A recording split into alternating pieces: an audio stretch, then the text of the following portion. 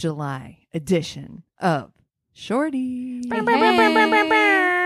I feel like I went that I was I was really slow, honestly, because I couldn't remember what month. Uh, Always. not gonna lie. Yeah. every every time. every time. And in Like, fact, I was thinking July. it doesn't help that we're kind of recording this a little earlier than we normally would. So I'm Yeah. like, what, what, what's happening? what month is I? it? We are um also this month is three years of Wow. celebrating my worst date Yeah. with you. Wow. oh my So, god! If you would like to give us a present, uh like, rate, and review. That Yeah. would be amazing. We Yeah. would love that. love Yeah. a good review. Yeah. Well, did you guys hear about Victoria's Secret's rebrand? Oh god! I'm so over them. I've been over them Yeah. since like um twelfth grade. Well, no, mine went into my 20s. Yeah. I'm I'm not going to lie. I was pretty basic in my 20s. So I would I still with the pink on your butt Oh was, yeah, Oh, was yeah. definitely I never a got quality into that. I was yeah, trying to be that girl. Well, But, um, well, yeah. I mean, I feel like the words on the butt were a very specific moment in time. Yeah. I Mhm. remember I was Juicy. juicy, the Yeah. juicy couture tracksuit. Oh, mwah, How gorge. inappropriate. So What- inappropriate. were we wearing those as literal children? You know Yeah. what I wore? I was in I was a middle middle school cheerleader. And we had Soffe shorts, which are, you know, Mhm. those like cloth shorts that have the white band on them. yeah. And it was really popular to have those shorts and then roll them up so that they were they're sh- not short enough already. As They're short- very fucking short. as short as Mhm. they could possibly be. And then because it was the mid 2000s, all of them said like cheer on the butt. Oh, yeah. Oh, yeah. of- I Yeah. was just like, oh my God. But yeah, no, I mean, Victoria's Secret. I feel like it was kind of like at its height around that time. You're Like, right. The mid 2000s was like Mhm. everybody wanted that like super skinny Victoria's Secret angel yes, body uh, and we were having real problematic conversations around like praising these models for releasing their pre-runway show diets which was like four grapes and a cube of cheese or Right. something Oh, you know and we were all like amazing what self-control and looking Yeah. back we're all like oh God. so just a tic tac, just one. wow Oh wow! so i guess victoria's secret's been losing money for a while because hand over fist. we're Yeah. you know a growing. variety of different Yeah. things. Yeah. Yeah. And uh, so they have decided to rebrand. They have Megan Rapinoe, who is a, um, who I love. yeah, oh, she's Yeah. lovely. Yeah, and she's a soccer player for the U.S. women's soccer team. Priyanka Chopra Jonas is now one of their new ambassadors, Hmm. and they're What what is this rebrand supposed to be? Do you know? inclusivity. So not just tall, skinny Victoria's Secret angels. Like everyone is. But isn't Priyanka tall and skinny? Yeah, I don't think she's that tall, and she's. oh well, there you go. Well, She's and not And that also, tall. Megan Rapinoe is skinny, so Yeah. and Priyanka Chopra isn't isn't Victoria's Secret angel right. thin. You know what I mean? Which I feel like there is one look that Victoria's Yeah. Secret has. Yeah, had. yeah. It's- Them It is diverse, diversifying yeah. is not. It doesn't Doesn't really take much. It doesn't take much Yeah. at all. Like it's just. So they're doing that, and I don't know. I feel like they really want a pat on the back for this, and I'm just like, no, you know that you're you have to diversify yeah. to even stand a chance of not going under. well, That's I mean, it's the same same thing with people putting um or not people, but brands putting pride all over their stuff on June. Despite the fact that many of them have donated so much money to Yes. anti-gay politicians and everything like that, I feel happy that there are a lot of people who are uh, jaded Yeah. to that now that can see it for what it is, and I feel like the Victoria's Secret thing falls in under this. It's like Mhm. just a desperate ploy to make money.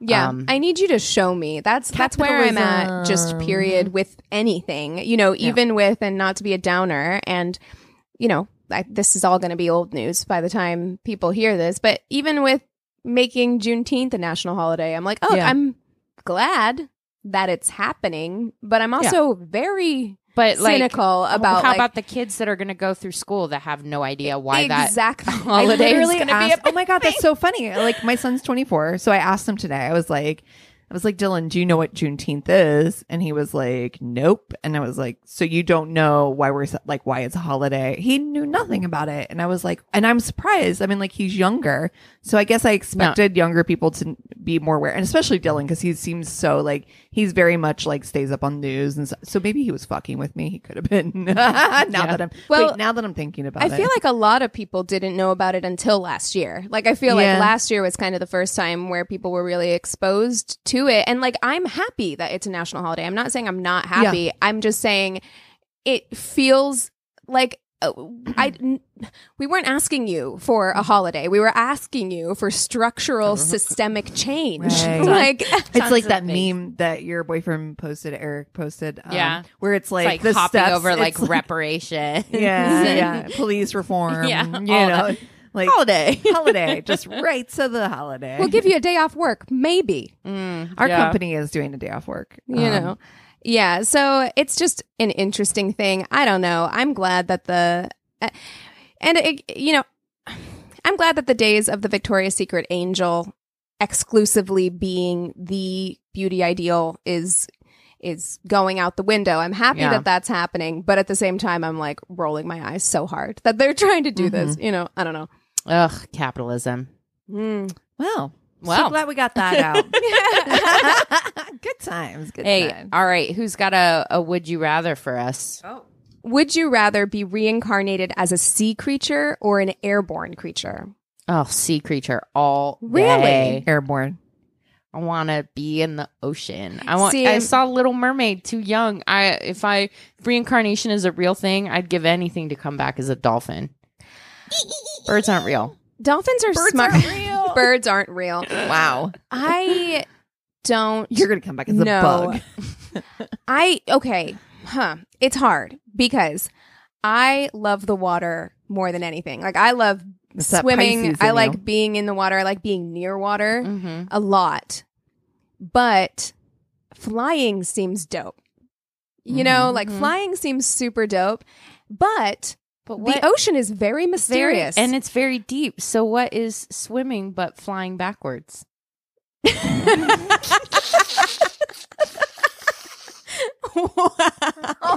You know what I mean? Just flying I'm not sure. I do know what you mean. I'm not sure, but I, I I'm gonna go with I'm gonna go with sea creature only because like I feel like I feel like there's a lot of adventure to be had in the sea. That's all. Can that be a merch T-shirt now? I want it to be one of those motivational posters. oh my god! For the shorty, you had to do. We'll make. I'm gonna make a motivational poster. That's It takes itself really seriously. Yes. yes. what is swimming but flying backwards. We are going forward. I want it to so be- confused. I want it to be a picture of Michael Phelps. yeah, like coming out. Yeah. like Oh, Absolutely. no. Oh, Goodness. Okay. Wow. All right. Well, I mean, with that kind of ringing endorsement, I'm gonna go with flying. Uh, I'm sticking with flying because I um I don't like to be wet. But but are you wet if you live in the ocean? Oh. I mean, these are the philosophical questions that I, I, don't mean, think I think my you should Mercedes- ask your professor. Oh. Are fish Will wet? you please? Oh my god, My head tell- hurts already. tell tell them my my quote. And Yeah, see, and see what he it says. says. We're yeah. says we're about it? really inching into magnets. How do they work? Territory. Oh. I feel like you know. Well, we do Yeah. know how magnets work, and that's the thing. this is Do more of a philosophical question of: Are you wet if you live in the ocean? I mean, you, uh, What is yes, wet to a fish? yes. yeah. What what is water but underwater air? True. We are not high. Let's I scrap- promise. let's we should scrap go, this whole We should, episode. we should Start over. We need to go into story. we just lost so many listeners. I know. What a weird uh. episode this has been. Uh okie dokie. Well, I have one little bit of a longer shorty Okay. over Okay. I had been dating this guy in college when I was a junior in high school. Red fucking flag. Yeah. Mhm. For a couple of weeks, and of course, I felt like I was in love. I mean, he was a 20 year old with a guitar and a car, and apparently that's all I needed in a boyfriend at the time. Yeah, tracks. we would spend most of our time together in his car driving around because he, one, lived at home with his parents, and two, didn't have a job or money to take me on real dates. One time he took, sounds about right. Yeah, Yeah. yeah. Yeah, no, this tracks. One time he took me to the Wendy's drive through and ordered me dinner. Like he ordered for me without oh, asking what I wanted. Sir. No. How romantic. Sir. We parked in the car, ate, and then had sex in the back seat. Oh my God. In the Wendy's parking lot? oh no. Oh, yes. No. Afterwards, as he's eating his frosty, it hadn't melted yet, if that tells you anything about the sex. Oh, everything I need to know because those things melt v fast. he proceeds to tell me that he thinks we should break up. Oh. I, I just wasn't mature enough for him. Of course, I was. Excuse Okay. me. My fucking face right now, Frosty man. Oh, okay. like, Of course, I was shocked and heartbroken. I tried to convince him. I tried to convince him I would change, but he would hear none of it. Listen, she's like 16. He calmly finished his frosty and dropped me at home. Years later, he found me on Facebook and, of course, tried to get me back. No. By this point, I knew what an absolute creep he had been and told him as much before blocking him. But yeah, that's the story of how I got broken up with at a Wendy's. wow. After you had sex in a In car the at a parking Wendy's. lot. Oh. It lasted just long enough for a Frosty to not melt. Ugh. Not Horrible. good. You're like, I think we need to break up too because I don't know if you were there for that last second, Yeah. but it wasn't great. No. No. All right. Well, uh, I have one. I was seeing this guy for a few weeks. I picked him up, and while I, he while I was driving, he was drinking wine out of a paper bag. No, sir. I, I told him to put it away, and he refused. no. I told him if he takes another drink, I'm pulling over, and he could get out. The fuck out of my car. Well, he looked at me, smirked, and took another drink. Is he five? I pulled over and told him to get out. He refused. So, since we were in a crowded area, I rolled down my window and just started screaming, Get out, get out, get out, over and over and Oh. over again until he did, which he only did because a couple of huge guys were walking over to see what was wrong. And I drove away, leaving him there with his bottle of wine. Bye. Hope it was worth it. He left a message the next day saying he was sorry I got upset about him drinking Okay. wine in our Oh. in our car. Yes, he called my car our car and he would stop drinking. I told him to never speak No. to me again. No. Wow. No. I just love her. I love Get get, out. get out, get out, get out. Oh my That's God. so great. Woof. Um, I am telling this story because I think it's it's it's it's a little bit sad, and you're gonna be like, oh, but I want to tell this story. I don't know why. It just really struck me. I have epilepsy, and I'm really forthcoming about this, and I'm going on dates. Uh, and oh, I'm sorry, I'm very forthcoming about this if I'm going on dates. In case of a seizure, I always explain what to do and when to call an ambulance. I have had more than one date leave when I'm having a seizure What? because they were freaked out. What the fuck is wrong What- with people? what do you think is I happening? I don't mind if I'm honest, but I if you are scared and you don't want to be in this situation, call an ambulance. If it's much more dangerous just leaving me, especially if I don't recover as quickly as I normally do, and I'm on my own unconscious for a stranger to find me. Oh my god. Isn't that the most? I mean, I listen. I wanted to share because I'm like, wow, that is. Uh, you've shared. This person has legitimately shared. They're going on dates. They're saying, "Hi, I have this thing." If you don't want to, don't fucking go. but don't leave. But don't Yeah, leave. Who What? does that? It's- I don't know. yeah that's Trash. that's awful. Who does that? I want to set you up with somebody good. I need you to reach out. to You me. need to be set up with someone nice. Jeez. I hate everything. I hate people for you. this episode's a wild ride. Okay. we took it, taking a turn.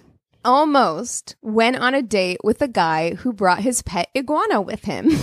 Uh, okay. went to pick him up, and when he got in my car, yes, my car, he had it sitting on his shoulder on a leash. All right, Jungle Jack. He didn't even mention it, just acted like it was the most normal fucking thing in the world. He asked where we were going, and I immediately said, We are not going anywhere, and asked him to get out of my car. Yeah, yeah. he seemed surprised by this and was, goodbye. and was about to explain the lizard, but I cut him off. I'm too old for this, and there are other, less weird fish in the sea. Just get out. I never saw him again.